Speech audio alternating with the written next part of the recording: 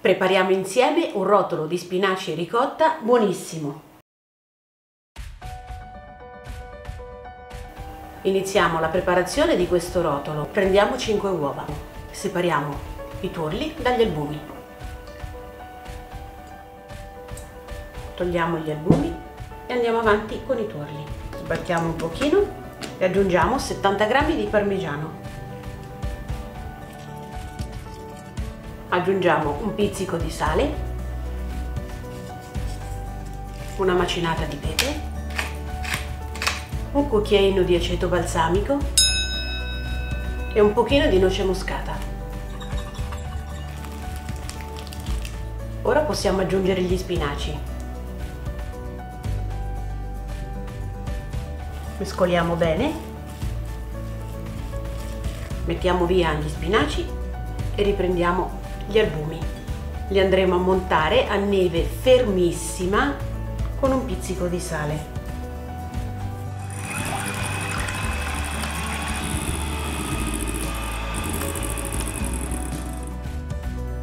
Direi che abbiamo raggiunto la consistenza giusta.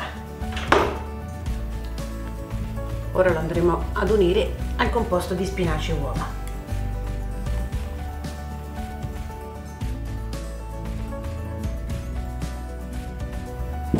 Il composto è pronto per essere versato su una teglia da forno.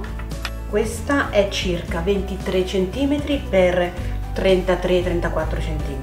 Se avete una teglia dai bordi più bassi è anche meglio.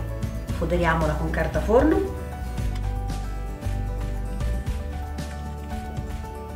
Lo livelliamo un pochino, cerchiamo di rendere lo spessore uniforme pronto per essere infornato a 180 gradi per circa 20 minuti. Dovrà risultare rappreso, però ancora morbido. Ci vediamo tra poco.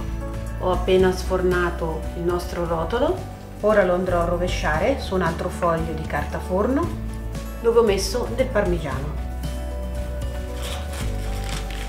Prendiamo la carta, nel frattempo che si raffredda un pochino prendiamo l'altro ingrediente che ci serve per la farcitura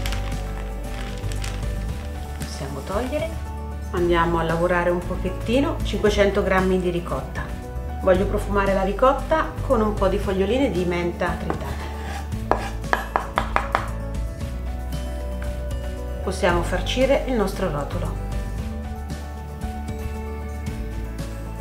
Ora andrò ad aggiungere dei pomodori secchi che ho tagliato a pezzettini e dei pinoli potete farcirlo come più vi piace, ad esempio al posto della ricotta potete usare un Philadelphia, magari abbinato ad un prosciutto cotto. Gli ingredienti da sostituire sono tantissimi. Adesso lo andiamo ad arrotolare e ci aiutiamo con la carta.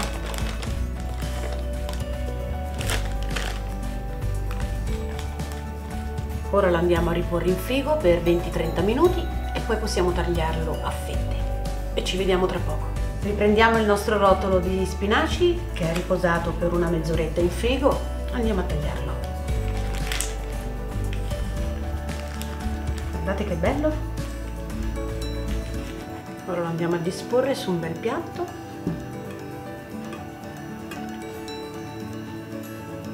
Finiamo di decorare il nostro piatto con un pochino di olio